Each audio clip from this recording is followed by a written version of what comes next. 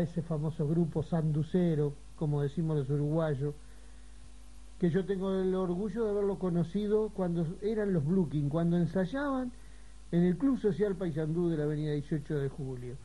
Fue emocionante también tenerlos ahí.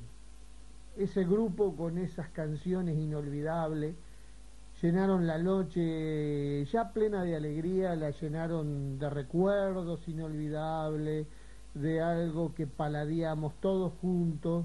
Bueno, a tal punto de que este muchacho cantando hizo subir a la, nuestra cónsul y miren qué, qué hermoso, qué lindo que fue todo esto.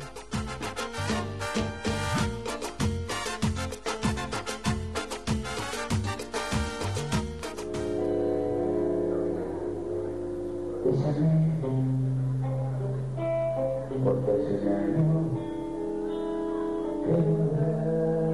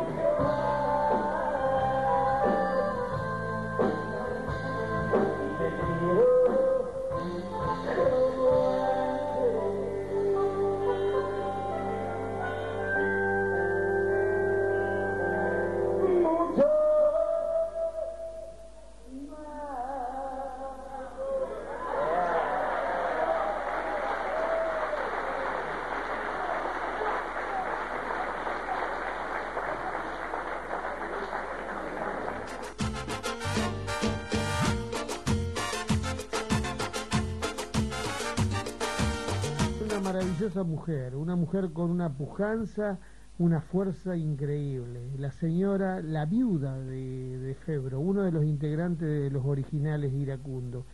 Y estuvimos con ella, y miren qué linda nota.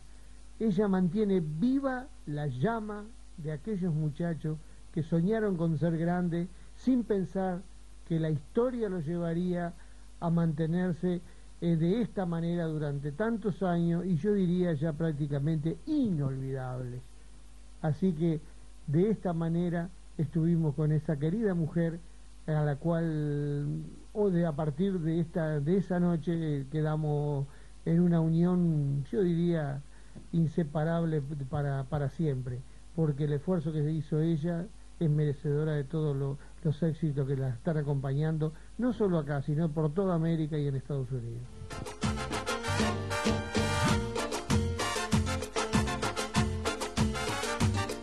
Bueno, hoy emociones fuertes. Los residentes uruguayos con una mención especial, enorme la satisfacción de toda esta gran fiesta del debate, algo maravilloso. Y como postre, los iracundos, algo el recuerdo, la nostalgia, la emoción de tenerlo parte de esa, de esa raza de aquella generación que hicieron vuelta, dieron vuelta a la música en el Uruguay.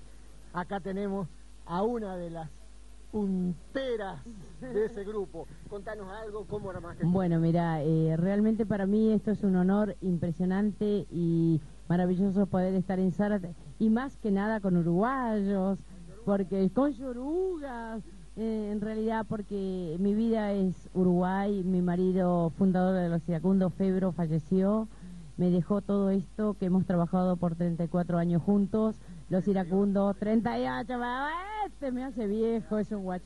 Pero de todos modos, este, estos iracundos son los de Febro, los de Uruguay, los que él quiso que continuaran con esta leyenda que es impresionante. Los iracundos no morirán jamás, están en las tres Américas y estamos de gira continuamente y mientras yo viva, los iracundos seguirán presentes con la bandera de Uruguay. Mis hijos, mis nietas, Uruguay. ¿Entienden?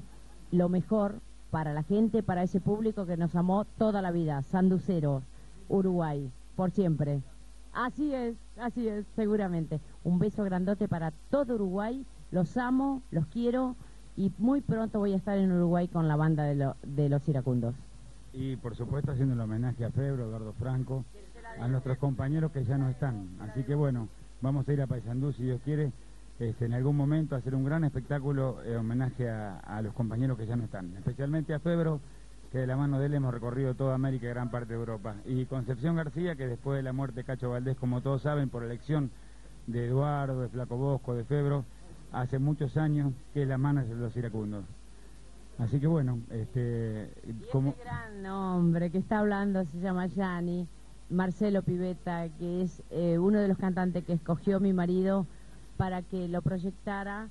Jamás se repetirá Eduardo Franco. Es el único fundador y, cantante de los iracundos, pero Gianni Pivetta pone todo su alma y su corazón y es un verdadero cantante como se merecen los iracundos. Gracias, gracias. Muchas gracias. Vos porque me querés. No, el objetivo principal de esto era que cuando yo llego a la banda hace como 12 años, eh, me dijeron, mira, no buscamos el imitador de, Eduardo Franco, buscamos a la persona que le ponga el corazón. Yo siempre digo que Eduardo componía las canciones con el alma y yo lo mínimo que puedo hacer en cada canción de los iracundos es poner simplemente todo mi corazón.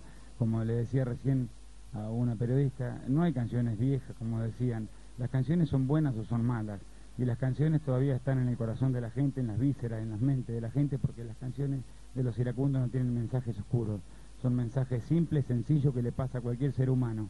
Por eso las canciones todavía están en el corazón de todos. Y como decía mi marido, nunca pensamos hacer canciones sin tiempo. Sin tiempo los iracundos son contemporáneos, jamás morirán por las tres Américas. Gracias. Bueno, muchas gracias a todos los medios, a la televisión, a la prensa, a, la radio que todavía sigue pasando nuestra música, por eso estamos así como en familia esta noche y sigan, sigan apoyando nuestra música, que es la música de todos ustedes también. Muchas gracias. Tiene 100 emisiones dentro de muy poquito. Y, y lo vamos a festejar en el Uruguay. Y lo vamos